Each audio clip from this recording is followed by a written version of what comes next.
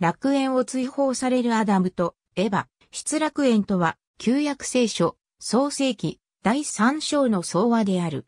蛇にそそのかされたアダムとイブが神の金を破って善悪の知識の実を食べ、最終的にエデンの園を追放されるというもの。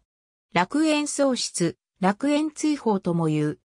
パラダイスロストの初版本ユリウス歴1667年にイギリスの17世紀の詩人、ジョン・ミルトンによる旧約聖書の創世記をテーマにした壮大な初期近代英語の叙事詩。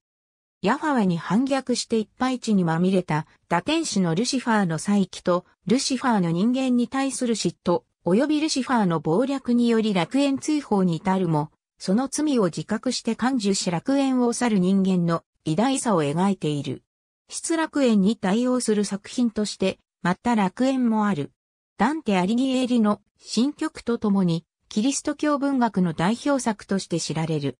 ミルトンは悪魔学の専門家ではなかったが、その当時に見られた悪魔に対する様々な説を総合した独自の解釈を作中に盛り込んだ。ミルトンによる解釈はその後のキリスト教に影響し、ことにルシファーに関する逸話に大きな影響を与えた。